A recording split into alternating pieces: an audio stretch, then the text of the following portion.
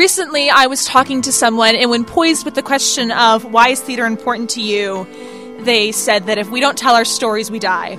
And to me, that's what Flashback Theater is all about. We're all about telling the stories of this community and exploring um, the questions um, that this community asks, and to me, that's something that's extremely important.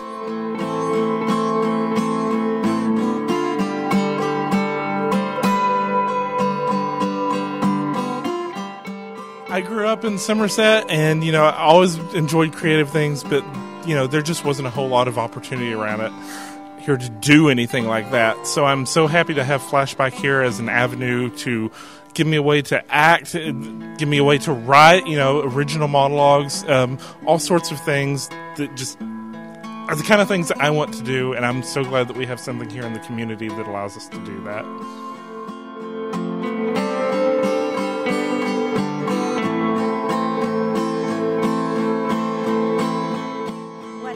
Flashback done for you? And for me, I've been wanting to do a lot of different things with theater. I've been wanting to do things like voice acting or um, getting into Broadway on on big stages and being able to try um, directing, being able to try with improv and all that kind of stuff, it's definitely been able to help me broaden my horizons, and that's something I wouldn't have gotten elsewhere. So for me, over this past year, I'm very grateful for Flashback and them for giving me the opportunity to expand my horizons.